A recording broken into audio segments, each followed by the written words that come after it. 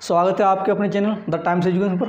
दोस्तों, आज का टॉपिक जो हमारा परीक्षा में फेल पास पर आधारित क्वेश्चन तो देखते हैं क्वेश्चन एक परीक्षा में परीक्षार्थियों के बावन परसेंट अंग्रेज़ी में अनुत्तीर्ण हुए और बयालीस परसेंट गणित में तदनुसार। यदि दोनों में विषय में सत्रह परसेंट अनुत्तीर्ण रहे तो उन दोनों विषयों में उत्तीर्ण परीक्षार्थियों को परसेंट कितना है? तो चलते हैं क्वेश्चन पे। इंग्लिश में कितना हमारा? बावन परसेंट क्या हमारा। अनुत्तीर्ण मतलब फेल फेल हो गए। बावन परसेंट फेल हो गए हमारे।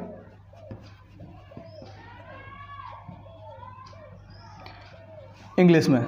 और गणित में, मैथ में बयालीस परसेंट क्या हो गया? अनुत्तीर्ण मतलब फेल। यदि दो, यदि दोनों में इंग्लिश प्लस मैथ, दोनों को जो हमारा परसेंटेज है, वो कितना हमारा? सत्तर परसेंट क्या हमारा? फेल का है। अब दोस्तों, देखेंगे इसको, डायग्राम को। अब पूछ रहा है कि दोनों विषयों में पास परीक्षार्थी कितने हुए? कितने परसेंट हुए? ये तो हमारा फेल का दे रखा है। तो चलते हैं, बनाएँगे इसका बैंड डायग्राम ये हमारा इंग्लिश का है और ये हमारा मैथ का। तो ये कॉमन है हमारा। कॉमन को बीच रखनी है। ये क्या है? ये भाग हमारा कॉमन है। अब इसे क्या है? इंग्लिश में कितना हमारा? इंग्लिश में बावन है। सत्रह ये है। तो बावन सत्रह ये तो बावन में सत्रह कितना हमारा? पैंतीस। पैंतीस हो गया। और मैथ में कितना हमारा बयालीस, सत्रह हमारा कॉमन वाला है। तो घटाओ बयालीस में कितना बचा हमारा? बयालीस में सत्रह गए। तो कितना बचा? ट्वेंटी फाइव पच्चीस बचा। अब ये हमारा फेल वाला है। तो करना क्या है? तीनों जोड़ देंगे। पैंतीस परसेंट प्लस सत्रह परसेंट प्लस पच्चीस परसेंट जोड़ दो।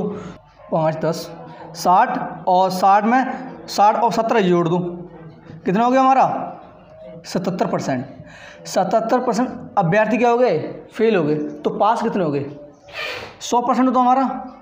सौ परसेंट में से सेवेंटी सेवन क्या हो होगा हमारे? फेल हो गए। तो पास कितने होंगे? घटा दो। माइनस सतहत्तर परसेंट। कितना बचा हमारा?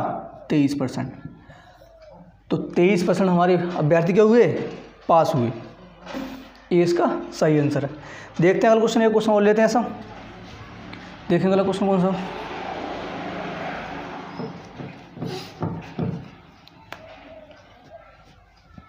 दोस्तों, अंधेरा हो रहा है, वीडियो थोड़ी क्वालिटी लो आ रही है। कोई दिक्कत ना एडजस्ट कर लेना। देखते हैं। एक परीक्षा में 19 परसेंट अभ्यर्थी गणित में। सेम क्वेश्चन है। बैंड डायग्राम से करेंगे इसे। 19 परसेंट किसमें गणित में। 19 परसेंट मैथ में। क्या हुआ ये? अनुत्तीर्ण फेल और 10 परसेंट इंग्लिश में। 10 परसेंट इंग्लिश में फेल हुए हैं। और यदि दोनों में कितने? मैथ और इंग्लिश में कितने हुए हैं? हमारे सात परसेंट हुए हैं।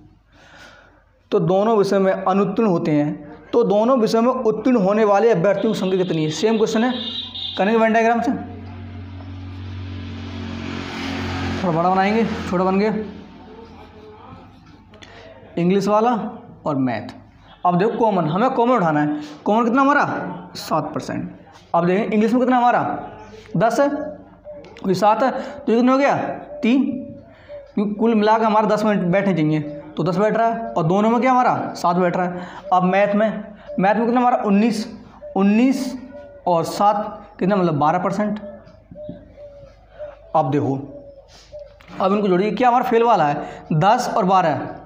जोड़ लो तीन परसेंट और सात परसेंट और बारह परसेंट। जोड़ लो। दस और बारह, कितना? बाईस परसेंट। बाईस परसेंट क्या हो गए हमारे? अभ्यर्थी क्या हो गए फेल हो गए तो पास कितने हुए? भाई सौ में से घटा दो। सौ परसेंट में ऐसा, क्योंकि हमारे जो अभ्यर्थी बैठे होंगे, परीक्षा में सौ परसेंट बैठे होंगे। बाईस परसेंट। एट और सेवन मतलब सेवेंटी एट। अठहत्तर परसेंट क्या होगा अभ्यर्थी, पास हो गए देख लेते हैं, ऑप्शन कौन सा हमारा सही है? ऑप्शन हमारा सभी अभ्यर्थी का अठहत्तर परसेंट। क्या सभी अभ्यर्थियों की तरह? अठहत्तर परसेंट। देखते हैं दोस्तों, एक क्वेश्चन और। एक विद्यालय में 90 परसेंट छात्र अंग्रेज़ी में उत्तीर्ण हुए और पिचासी परसेंट गणित में उत्तीर्ण हुए और दोनों में, और 150 दोनों में उत्तीर्ण हुए। इन दोनों विषयों में कोई भी छात्र अनुत्तीर्ण ना हुआ, ना हो तो। कुल छात्रों की संख्या क्या है? तो कुल छात्रों की संख्या क्या है? सवाल वैसे ही थोड़ा ही हमारा अलग है। तो आइए करते हैं सवाल को। पहला हमारा किसमें इंग्लिश में। इंग्लिश में नब्बे परसेंट क्या हो गए हमारे? पास और मैथ में कितने हो गए हमारे?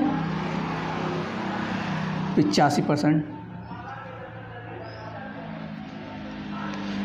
पास और दोनों में। अब यहाँ परसेंट देखो तो नंबर दे दिए कितना दोनों में कितने संख्या दे दी कितनी एक सौ पचास। इंग्लिश प्लस मैथ कितने दोनों में? एक सौ पचास अभ्यर्थी पास हुए। तो परीक्षा में कुल अभ्यर्थियों की संख्या ज्ञात करना है अब देखना है। यहाँ पर 150 पास हो रहा है। परसेंट वहाँ कितने का होता है? सौ का है। ठीक है। देखते से अब दोस्तों, इसके लिए मैं आपको एक एग्ज़ाम्पल बताऊँगा, उसके बाद इस क्वेश्चन पर आता हूँ पहले मैं। मान लो, ये वेंडेग्राम हमारा, इसमें हमारे कॉमन हुए 25 परसेंट पास थोड़ा बड़ा बनाएँगे, छोटा बन जाता हर बार। ये पच्चीस परसेंट हमारा। पच्चीस परसेंट इंग्लिश और मैथ दोनों पास हुए। हम एग्ज़ाम्पल ले रहे हैं इस क्वेश्चन को समझने के लिए। इसमें चालीस परसेंट और यहाँ मान लेते हम अस्सी मान लेते हैं। अस्सी परसेंट। अब दोस्तों जोड़ेंगे तो हमारा सौ परसेंट बैठ जाएँगे, ठीक है? क्योंकि अभ्यर्थी जो बैठेंगे, परीक्षा में वो सौ परसेंट बैठेंगे। पर यहाँ देखेंगे क्या जोड़ के सौ बैठ रहा है हमारा? चालीस, और कितने होगा हमारे? अस्सी, एक सौ बीस। एक सौ बीस ये होगा हमारे। और पच्चीस ये वाले ऐड कर दो। कितने हो गए एक सौ पैंतालीस। दोस्तों, यहाँ पर सौ परसेंट था हमारा, और ये कितना? एक सौ पैंतालीस परसेंट बैठ रहा है। क्या संभव है क्या? परीक्षा परीक्षा में सौ परसेंट अभ्यर्थी बैठेंगे, और यहाँ बैठ रहे हैं एक सौ पैंतालीस। तो ये गलत हो गया ना? तो देखेंगे। इसी के माध्यम से हम इस क्वेश्चन करेंगे। इंग्लिश और मैथ दोनों जोड़ लो इंग्लिश और मैथ को। इंग्लिश प्लस मैथ नब्बे परसेंट और प्लस पिचासी परसेंट जोड़ो आप। पाँच, आठ सोलह और नौ, आठ नौ, सत्रह।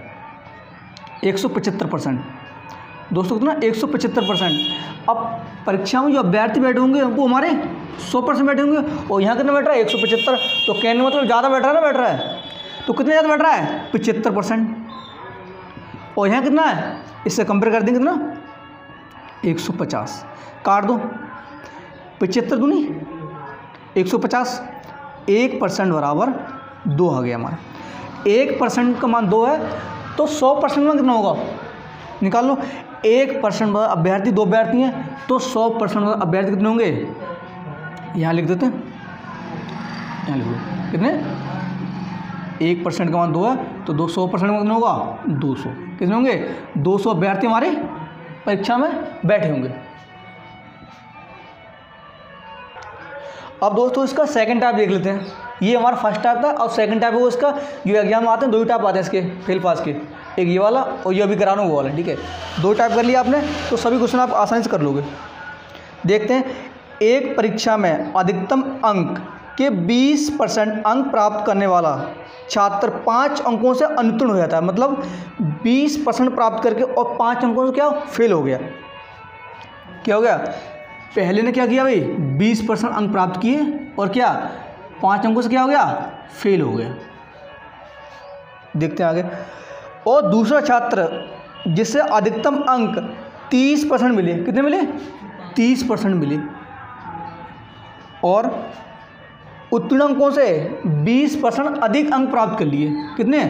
भाई, बीस बीस सॉरी बीस अंक अधिक प्राप्त कर लिए। तो बीस अंक से क्या हुआ? वो पास एक्स्ट्रा ले आया।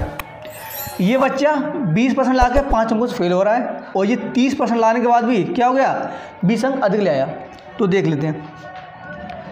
पूछा क्या है इसमें तो उत्तीर्ण होने के लिए अधिकतम अंक, अधिकतम परसेंटेज क्या है? उत्तीर्ण होने के लिए। तो दोस्तों देखते हैं। करने तरीका। इनका अंतर देखेंगे। अब यहाँ पर क्या हमारा फेल और पास है। तो जुड़े आएगा। अगर यहाँ फेल होता, यहाँ फेल होता तो घट जाता, यहाँ पास होता और यहाँ पास होता, तब भी हमारा घट जाता। जैसे लाभ हानि में क्या होता हमारा। जब लाभ लाभ होता है जुड़े, घट जाता है और जब हानि लाभ होता है तो जुड़ जाता। है सेम कंडीशन यहाँ पे अप्लाई होगी। तो 20 परसेंट और 30 परसेंट घटाओ 10 परसेंट बराबर कितना होगा हमारा? 25 परसेंट। निकाल दो। सॉरी 25 25 परसेंट नहीं पच्चीस होगा। अब एक परसेंट का मान निकाल लो। काट दो पाँच से, पाँच दो नहीं दस। और पाँच यानी पच्चीस। इसके दो बटे बटे बन जाएगा एक परसेंट बराबर पाँच बटे दो आ गए। एक परसेंट बराबर पाँच बटे दो आ गया अब निकालना क्या? आप यहाँ से निकाल सकते हैं, यहाँ से भी निकाल सकते हैं। तो एक परसेंट का मान पाँच बटे दो है तो बीस परसेंट का मान निकाल लीजिए आप। बीस परसेंट और प्लस ये पाँच ये पाँच अंक और मिल जाए तो पास हो जाता वो बीस घटा लो, बीस होना पाँच बटे दो, काट दो कितना दस। और पचास पचास प्लस पाँच कितना? पचपन। पचपन अंक मिलते। पूछा क्या सवाल में? अंक निकालने। इतने में तो पास हो रहा है। अब कुल अंक निकालने। कुल अंक कितने होते हैं हमारे? सौ परसेंट होते हैं। तो सौ गुणा पाँच बटे दो काट दो। कितना गया? पाँच। पचम पच्चीस ढाई सौ। दो सौ पचास अभ्यर्थी मतलब परीक्षा में दो सौ पचास का पूर्णांक है और पूर्णांक लाने हैं। तो परसेंट कितना बनेगा? निकाल दो। पचपन बटे कितना? दो सौ पचास गुना काट लो। एक ज़ीरो से एक ज़ीरो कट गया। पाँच से काट दो। पाँच दून दस और पचम पच्चीस। यहाँ काट दो। ग्यारह पंजे, पचपन। और ग्यारह दून बाईस। कितना? बाईस परसेंट। दोस्तों, ये परीक्षा का अधिकतम मतलब मैक्सिमम, कम से कम परसेंट कितना हमारा? वो क्या है? बाईस परसेंट। देखते हैं दोस्तों ये क्वेश्चन और देख लेते हैं इसका। एक प्रत्याशी किसी परीक्षा में 20 परसेंट अंक प्राप्त करके 30 अंकों से फेल हो जाता है।